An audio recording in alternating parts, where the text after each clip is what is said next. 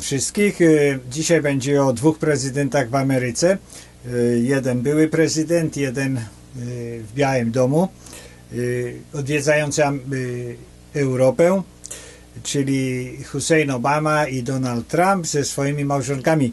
Jeden, jeden jest wielkim biznesmenem, dużym biznesmenem, y, wygrał w zasadzie z poparciem y, wszystkich tych y, republikanów, konserwatystów, czyli Amerykanów starego pokolenia, czy takich tradycyjnych Amerykanów. Drugi, który był wybrany na, na fali jakiegoś, jakiejś euforii, ludzi, którzy wierzyli w utopijny socjalizm.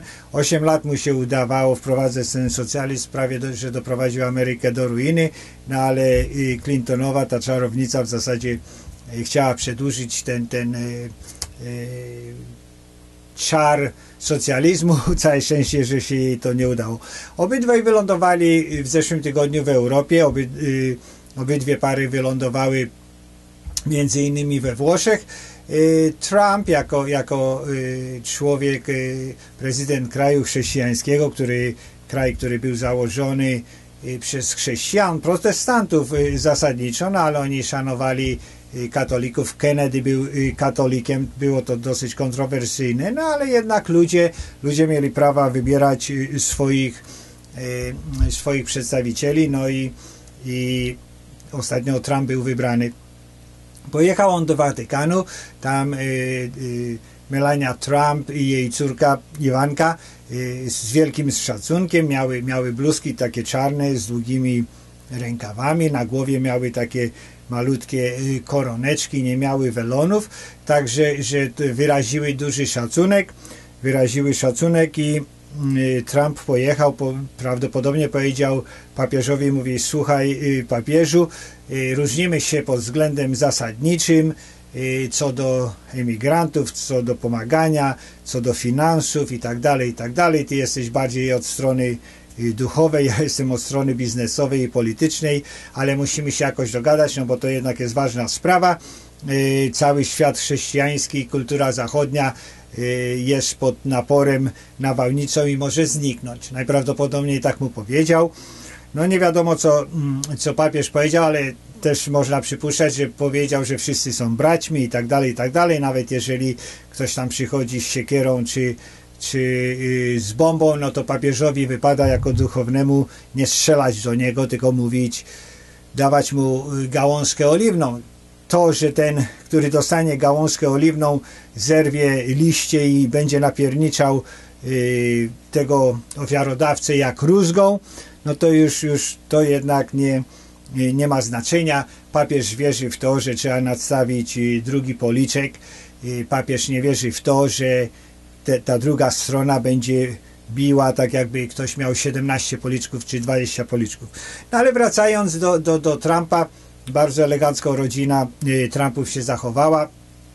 Tam najprawdopodobniej się dogadali, porozmawiali, no i, ale przesłali całą tą wiadomość do, do świata, że, że jednak Ameryka jest chrześcijańska i ma duży szacunek dla, y, dla Watykanu. Później pojechał do Izraela, spotkał się tam z przedstawicielami. Y, Jednym z takich doniosłych y, wydarzeń to było to, że poszedł do ścianu płaczu. Ściana płaczu jest to ostatnia ściana, która została z tej wielkiej świątyni Jer- jerozolimskiej, którą Rzymianie zburzyli w 70 roku. No i tam Żydzi w zasadzie składają te różne swoje pobożne życzenia i tak dalej, się modlą, jest to, jest to ich taki, taki symbol, symbol Izraela, symbol żydostwa i tak dalej. To wielka sprawa dla prezydenta amerykańskiego, żeby założył jarmułkę, założył tą y, myckę, y, że jak się mówi, no i poszedł tam, po, położył rękę i się modlił. To jest bardzo, bardzo duża sprawa. Y, Spotkał się też w Europie z przedstawicielami NATO, czyli tego Paktu Północnoatlantyckiego, do którego należą, należy 27-28 krajów.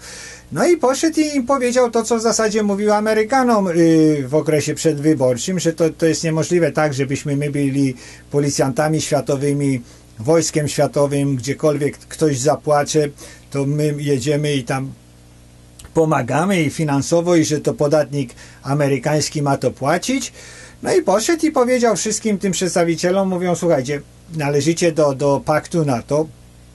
Kiedy się zgłosiliście, że y, chcecie należeć do paktu NATO, no to 2% y, waszego dochodu narodowego musi iść do wspólnej kasy.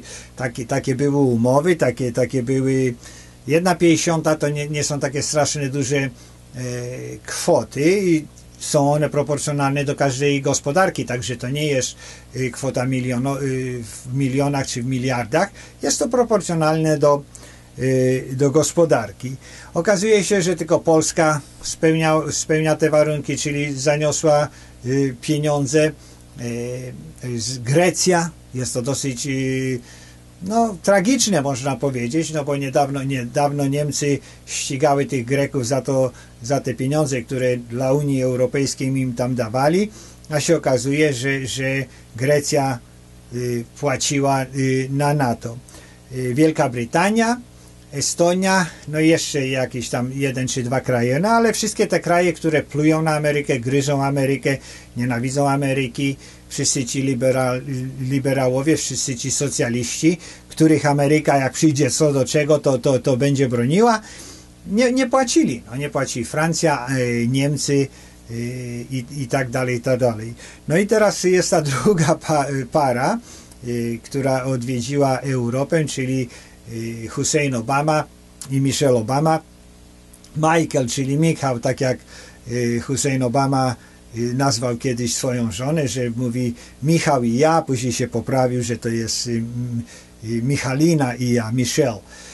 No i oni pojechali, byli, wchodzili do, do katedry XII-wiecznej włoskiej katedry w Sienie i tam no, odwaliła numer, była prezydentowa, czy Obamowa, no bo poszła, miała taką bluzeczkę białą, y, gdzie na takich malutkich y, niteczkach to wszystko zawiązane, to wszystko jej się przekrzywiło, te ramiona normalnie y, otworzone i gołe, to teraz wszystko jej to spadło, to się rozsunęło i poszli do tej katedry, gdzie to w zasadzie nikt nigdy tam nie wchodził w takich ramionach, tam mają, mają nawet napis jak, jak się zachować i i, jak przedstawiać. Dosyć, dosyć nieprzyjemna sprawa dla ludzi, którzy teoretycznie kończyli najwyższe uczelnie w Ameryce, którzy mówili, że są cywilizowani i tak dalej, i tak dalej. Wielu, wielu ludzi yy, tłumaczy, że, że, że w zasadzie no to, to jest to wolność i tak dalej. No ale jednak nie idzie się do, do opery w walonkach czy, czy w gumiakach, czy nie, nie otwiera się kanapki yy, w czasie przedstawienia w teatrze. Także e, są to te wydarzenia dosyć ciekawe, amerykańskie. Zapraszam do oglądania orędzia prezydenta Trumpa, który publikuję co, co tydzień. Jest tam tłumaczenie dosyć dobre. Jeżeli ktoś się uczy języka angielskiego, to bardzo dobrze jest synchronizowane. Czasami, jeżeli mam czas, to wstawię dobre tłumaczenie y, polskie, czy lepsze tłumaczenie polskie, ale jeżeli ktoś y, y, ustawi automatyczne tłumaczenie, no to z grubsza te 70-80% zrozumie, zrozumie co, o co tam się dzieje. Polecam do subskrypcji, polecam naciskanie dzwoneczka, polecam wysyłanie tych linków. Piszcie komentarze, piszcie pytania, piszcie sugestie, co byście chcieli się dowiedzieć na, na temat Ameryki, jako że głos z Ameryki Y, no, postaram się y, spełnić y, to zadanie, żeby być głosem z Ameryki. Do następnego.